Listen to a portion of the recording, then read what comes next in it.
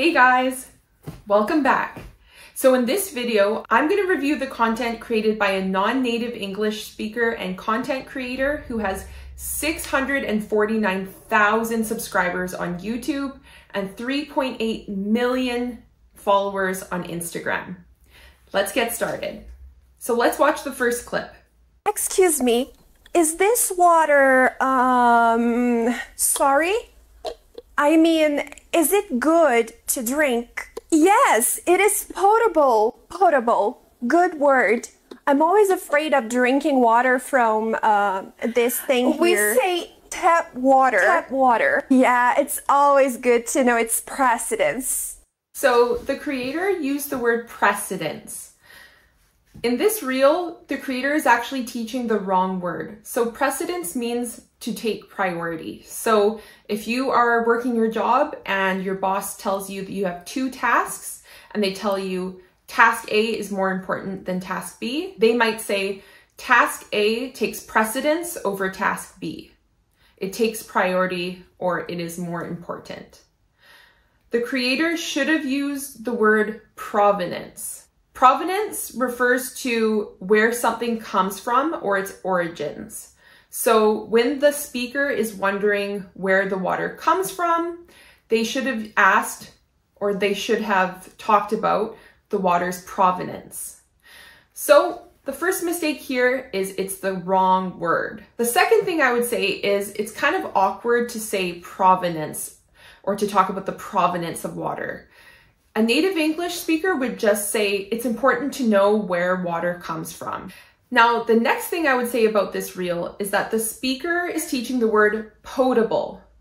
Potable is not a common word. It is rarely used. And I actually had to look it up myself after I watched this reel.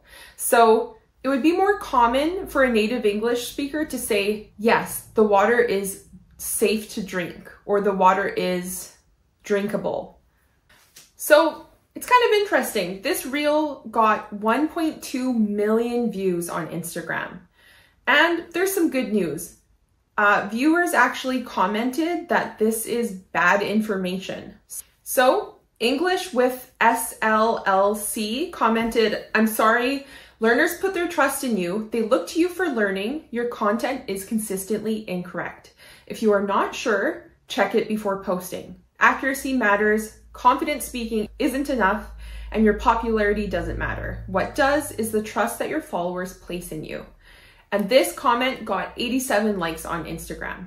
So the good news is that not all viewers are blindly accepting the information that is provided in this reel. But what about the next ones? Let's watch the next video. Don't do that. Why? You have to um the towel before hanging it. Ah, I have to squeeze the towel. Squeeze, yeah. And where do I hang it? Uh, you can hang it in this thing here. In the clothes horse. Clothes horse. Okay. Um, you can also use um, these. Um, you mean clothespin? Okay, so in this reel, the creator is teaching the, the words or the vocabulary clothes horse, and then they use a verb, uh, squeeze. So in this reel, there are two things I would say. The first thing is the, the word clothes horse or the name clothes horse is not commonly used. We would actually probably just call it a drying rack. So if this creator is trying to teach vocabulary that English speakers or new English learners can use when they are in North America, clothes horse is not common. The second thing I would say is the creator is actually using the wrong verb here. So the creator says you have to squeeze the towel before you put it on the clothes horse or the drying rack. Actually, to squeeze something and to what she's doing in the video, those are two different actions. So if I am holding someone's hand, let's say I'm holding my niece's hand, I could squeeze her hand like this. But what this creator is doing in the video, this action of twisting your hands, is called wringing something. So if your towel is wet and you want to hang it to dry, first you have to wring the towel or wring it out, not squeeze it. So this reel got 4 million views on Instagram.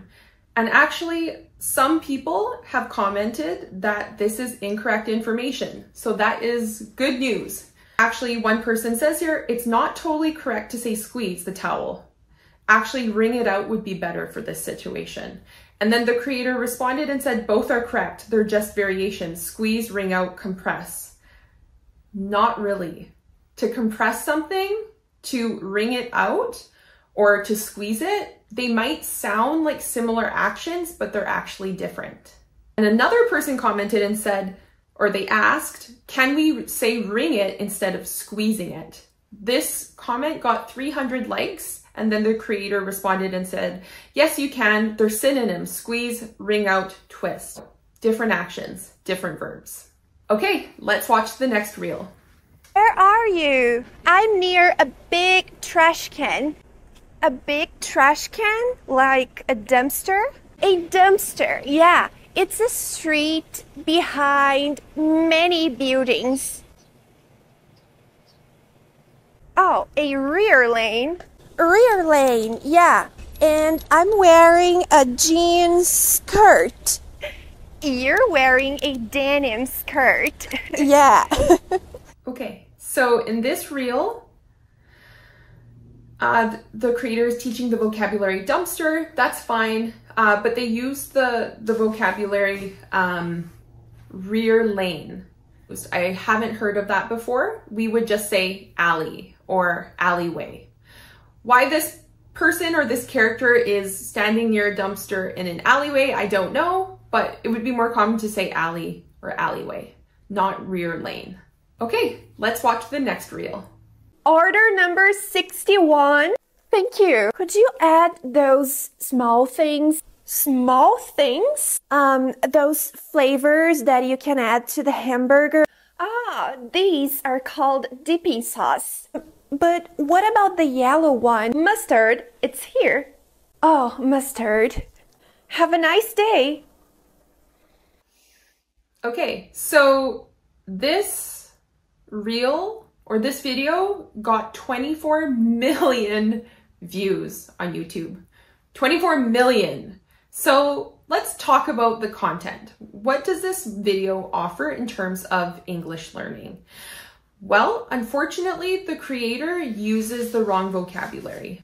So the creator refers to these little packets that uh, she holds as dipping sauces. Um, and I guess it's supposed to look like the, the character is in McDonald's. But let's, I'm gonna throw a video up on the screen here and show you guys the information from uh, a restaurant like McDonald's. So as you can see here, there's a difference between dipping sauces and condiments. So condiments would be like ketchup, mustard, um, things that we would put on a burger and they would come with the burger. So there's two weird things here. The creator is saying, can I have some dipping sauces? And she's referring to mustard as a dipping sauce. Mustard would be a condiment. So wrong vocabulary. The next thing is that um, the character is asking for sauces after she purchased her hamburger. These sauces would come on the burger unless the customer specified that they didn't want any sauces or they didn't want anything on their burger. So dipping sauces would be these sauces that are available at McDonald's and you would use dipping sauces for dipping things in like chicken nuggets, for example. Condiments would be ketchup, mustard, etc. Let's keep going. Okay, so this next video got 22 million views on YouTube. Let's watch it. Do I need to remove my uh, dentures? No, no, I don't wear dentures. I was talking about my uh, Ah, your braces. Yeah, you need to remove them. Okay. Open your mouth. Mm-mm. Why? Because It doesn't smell good. Ugh, you have bad breath. Mm. Okay, so leaving aside the fact that a dentist would not behave like this because it would be very unprofessional, um, let's talk about the vocabulary and the English content. So the creator actually uses the wrong vocabulary here. So when she removes the thing from her mouth, she calls them braces. Braces would probably, uh, in everyday conversation, refer more to these permanently attached devices that um, people people get to straighten their teeth. And I'll, I'll put a picture here on the screen to show you guys the difference between braces and an aligner. Let's see if anyone has commented on that. So on this video, someone commented the fact that the braces were actually retainers, so she still got the name wrong. This comment received 21,000 likes and 250 replies. So people are talking. This is great. So let's watch the next video. So this one has 928,000 views on YouTube. Hey, can you take a picture of me? Oh, but it's too, uh, too big, you know. Oh, it's enlarged. Too enlarged. Yeah, it's too enlarged. So let's reduce the size. Now it's perfect. Okay, so this reel makes no sense. And I'll tell you why. We don't say this. Someone's commented, actually, we say zoom in and zoom out, don't we? And people reply, people have replied and they, they have said, yes, we do. The creators said, that's also possible. Okay, we don't say it's too enlarged. If someone takes a photo of me and it's too close, I would say it's too zoomed in. Oh, sorry, the photo's too zoomed in. Can you maybe zoom out or can you back up a bit? We would say something like that. We wouldn't say, oh, the photo's too enlarged. That's very awkward and that's wrong. The creator also said, okay, it's too enlarged let's reduce the size. That doesn't make sense either. So if I'm creating, let's say, a poster on my computer, and the poster or the image on my computer is this big, if I shrink it down, that's called reducing the size.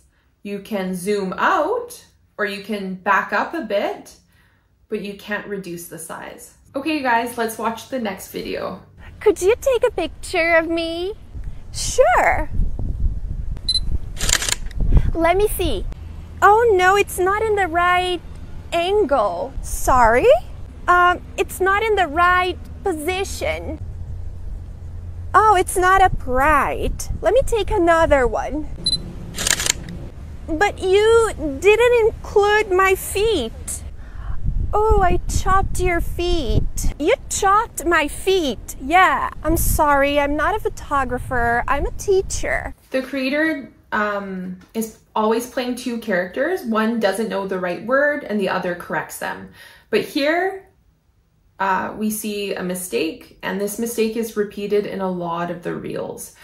The mistake is that the character who is correcting the other person does not give accurate information. They actually make mistakes as well. So someone commented on this video and this comment got 245 likes. They said, I feel like even though technically the English is correct, most English speakers would say it differently. Yes, that is true. So the person said, in this instance, I personally would say, oh, it's upside down. Yeah, that's what you would do. So if somehow you take a photo upside down, you would just say, or the other person would complain and say, the photo's upside down. Can you take it again? They wouldn't say, oh, it's not upright. Now, the next thing is the creator says, oh, take the photo again. You chopped my feet. This is also very awkward. A better option would be to say, can you take the photo again? My feet are cut off. So we would use passive voice here. Okay, so in terms of English content, learning new vocabulary and learning phrases uh, that native English speakers would use, this reel is misleading. let's watch the next video. Can you help me to push uh, this? Push uh, what? Sorry, I didn't get it. Thing on the door. Oh, the knob. We say knob. Just be careful not to trip on the threshold. What do you mean by threshold? This is a threshold. But I think she's hurt now. So the creator is trying to teach new vocabulary and they are teaching the word threshold, but they say threshold. Threshold. It's pronounced threshold. Don't trip on the threshold. So the creator has an accent and that's perfectly fine. But if they're teaching vocabulary, it's important to teach correct pronunciation. The next thing I would say is just like a lot of the other reels, there's some awkward phrasing that native English speakers probably wouldn't use. The creator taught or was saying, Can you help me to push the knob? So it's kind of awkward to say that. A native English speaker would say, Could you help me to open the door? Just simply, Could you help me to open the door? Could you open the door for me? Or if they wanted to teach the vocabulary knob, you would say, I need to twist the knob to open the door. So I have to give this creator credit. They are trying to teach new vocabulary, but the problem with content like this is the conversations are very inauthentic or just sound very unrealistic and they use phrasing that native English speakers wouldn't use. Okay, so let's watch the last video. This video has 28 million views on Instagram. Let's check it out. Oops! Could you pick up my bottle? Your bottle? A little device to close the bottle. Oh, your bottle cap. Bottle cap? Like a real cap? This is also called a cap. Interesting. It's difficult to screw the cap. Screw the cap. Yeah, give it to me. Done. Okay, so what's incorrect about this reel? Uh, okay, so just like lots of other videos by this creator, this video includes some really awkward phrasing. Native English speakers wouldn't speak like this. They wouldn't say, I have to screw the cap. So native English speakers would either say, I need to put the cap on the bottle, or they would say, I need to screw the cap on the bottle. We need that little word, that two letter word on. On is a preposition. So again, we would say screw the cap on or put the cap on. Okay, you guys, so I hope you found this video useful. As a native English speaker and as someone who has a master's degree and a bachelor's degree in English, and as someone who's finishing up her PhD in English, um, and as someone who is an English teacher and who works in education, I think it's my responsibility to point out mistakes like this because there are a lot of English learners out there who definitely want to improve their language skills and they see content like this on Instagram and YouTube and they think they're getting the right information. But in reality, there's a lot of things that you learn from content like this that is either awkward or just plain wrong. So if you found this video useful and you want to see more content like this, make sure you give it a thumbs up and leave me a comment below to let me know. Before I go, just a reminder, please hit that subscribe button and make sure you turn on alerts so that you can get notifications about my new content. Thank you so much for watching. I'll see you guys next time.